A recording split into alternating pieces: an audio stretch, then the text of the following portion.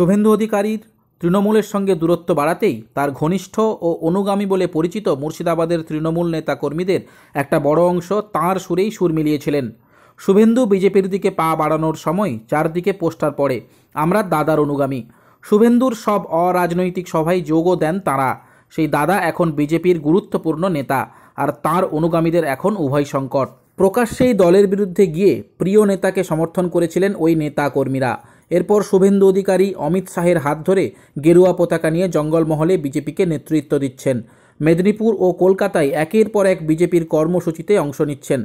তবে পদ্মে নাম লেখানোর পর থেকে মুর্শিদাবাদে পাত্তা পাওয়া যায়নি শুভেন্দুর। শুধু তাই নয়, অনুগামীদের ফোনও ধরছেন না তিনি। তাই এইসব নেতাকর্মীরা এখন পড়েছেন বিপাকে। তৃণমূলের সঙ্গে দূরত্ব বেড়েছে অনেকটাই। তবুও আবার বিজেপিতে যেতে চান না। অনেকে আবার আশায় আছেন, দাদা, প্রতিশ্রুতি পূরণ করবেন। মুর্শিদাবাদে সভা করে তাঁদের বিজেপিতে যোগ দেওয়ানোর মাধ্যমে। অনেকে এমনও আছেন, যারা কংগ্রেসে যাবেন বলে ভাবছেন। কেউ কেউ আবার বলছেন, তৃণমূলেই আছি। জানা গিয়েছে, মুর্শিদাবাদে অনুগামীদের শুভেন্দু বলেছেন, তিনি ওই জেলায় বিজেপি সংগঠনে নাক গলাবেন না।